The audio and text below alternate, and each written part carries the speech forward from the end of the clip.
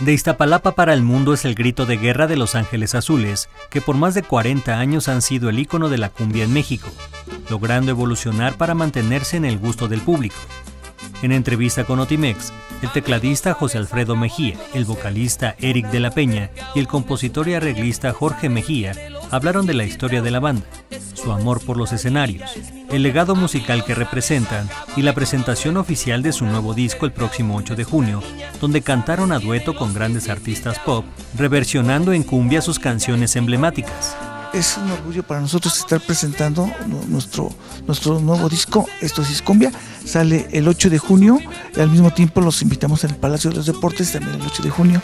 Este, vamos a estar en un gran evento este, con la sinfónica completa, la sinfónica tocando cumbia también, y, este, y muchos artistas invitados. La fórmula que usaron para intervenir y transformar las canciones fue muy sencilla, agregó el compositor.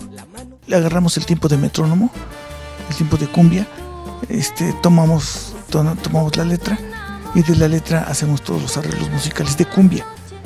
Entonces ya eh, le metemos todo el sabor a la canción de, Pepe Aguilar, a la canción de Natalia, a la canción de Yuri, les metemos todo el sabor, entonces es cuando ya se empieza el tiempo de baile, para que toda la gente esté al mismo tiempo esté cantando, esté, esté bailando, y eso es lo que nosotros buscamos, ¿no?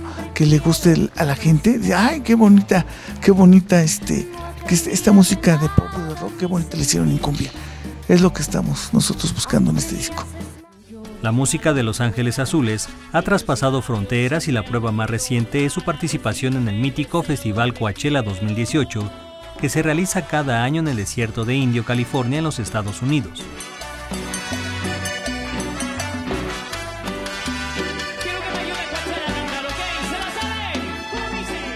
Un reto, sin duda, fue un festival muy importante y estamos muy contentos de haber tenido la respuesta.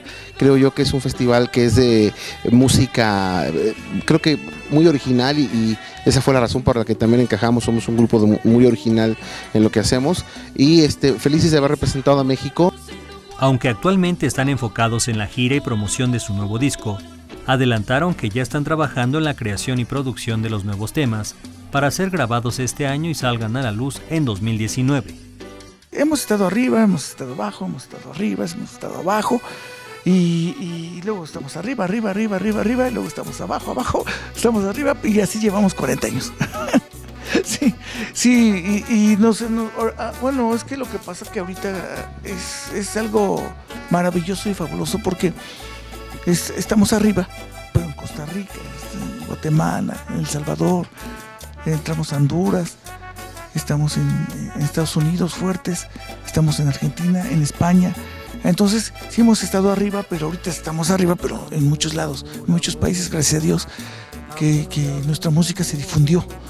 Su próxima presentación el 8 de junio en la Ciudad de México es motivo de alegría para Los Ángeles Azules.